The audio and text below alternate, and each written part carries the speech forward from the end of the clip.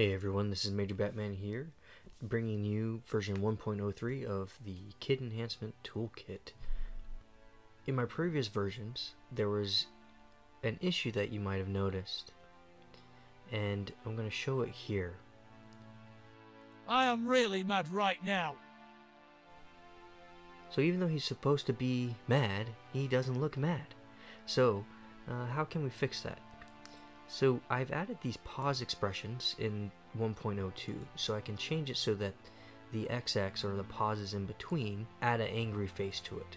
So I am, I can add an X there, maybe start with an XX, and that's going to add that angry expression in the pause.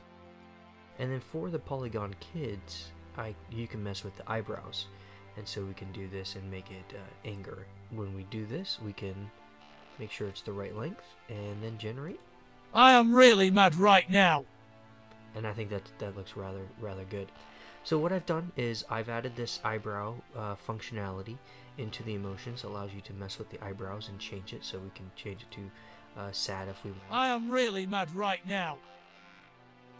I am really mad right now and so it really allows you to change change these the aspect of that animation as you see fit. Um, I've also added these uh, animation length and audio length uh, indicators here. So you can quickly see how long it is because I think in previous videos you saw me going and seeing how long that the WAV file was and trying to line it up perfectly. And so this allows you to do this.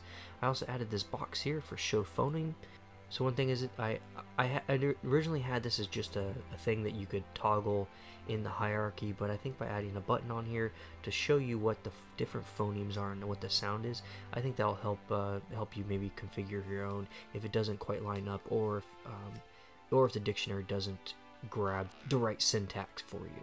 Uh, so at the moment, the eyebrows are kids only because for the for the males um, it's just one big eyebrows, so it's a little difficult to get that. So another thing I did, I added a way to um, immediately configure who this kid was.